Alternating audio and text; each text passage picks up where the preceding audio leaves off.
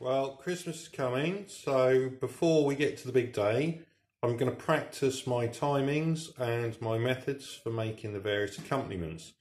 Because obviously, with a massive great turkey taking up the whole main oven, it's a great idea to use the Ninja Foodi Max air grill, blah blah blah, fryer, what have you, to make the accompaniments. So, first off, I'm going to show you how to make pigs in blankets. Okay, so to start with, I've got a load of supermarket chipolatas. On the day, I'll probably use some really good ones from the butcher. But for now, we'll do that because that's what most people have accessible. Uh, they're the finest from, from uh, the supermarket I went to. I've also got streaky bacon. You want streaky, preferably, rather than back or middle, because middle's really long and is back and streaky, whereas back is just the wrong shape. This you want it so that you can wrap it around. Okay, so it's nice and easy. All you do, you get your chipolata, you get your bit of streaky bacon, and you roll it round. Now the advantage over buying ready-made pigs in blankets is you, you get to choose your sausage. You get to choose your bacon. Do you want smoked bacon? Do you want unsmoked bacon? Do you want um, Cumberland sausage, sausage with, with apple in it? Do you want Lincolnshire sausage? Do you want high meat content ones from butchers? Do you want ones made of made of um, all manner of unmentionables that taste of nothing?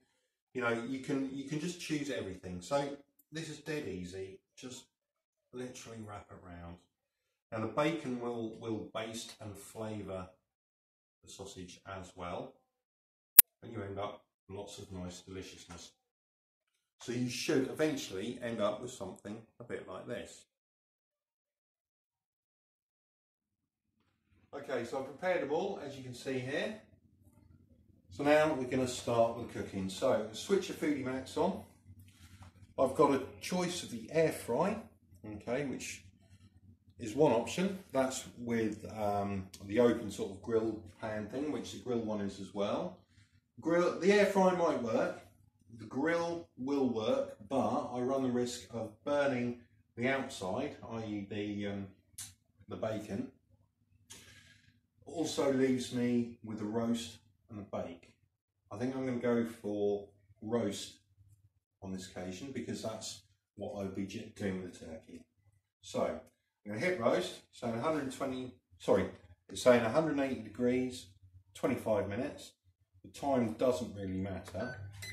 So I'll put start stop and we'll wait for it to heat up. Just going to whip it open and give it a little spray of that on the bottom. This is my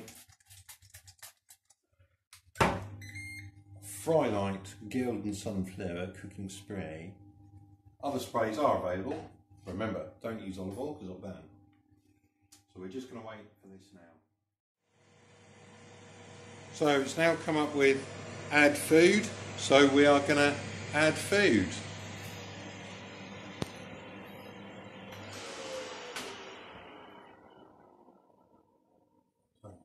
Pop them in here, all lovely. I can hear them sizzling on the bottom already, like a, like a frying pan.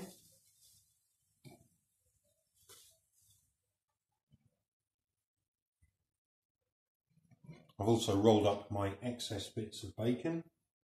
Now, in my family, we never had pigs in blankets. We didn't didn't feature. What we would do instead, what my dad would do, we'd make the um, streaky bacon into little rolls, like that, on a skewer. So they'd be separate to the chipolatas. Right, so there we go. We're going to pop that on, and then we're going to leave it now for a little while and just keep checking sporadically. Okay, so it's had five minutes. Let's check the state of play. Five minutes on roast. Yeah, they're coming up nicely. I can see that the fat is starting to render, but uh, they're going to need another while. So I'll check when it hits 15. So obviously, the smells of the pigs in blankets have uh, got her excited. We're now 15 So we've had 10 minutes in, it's reached 15 on the counter and all they're starting to look good. I'm now going to turn them over just so that uh, the undersides and the top sides are getting sort of similar treatment. At least another five minutes needed. So we're coming up to the 15 minute mark, as in they've been in 15 minutes and the countdown saying 10 minutes left. So let's have a look. Okay, so I flipped them a few minutes ago. They're probably cooked through. They're still a bit paler than I want.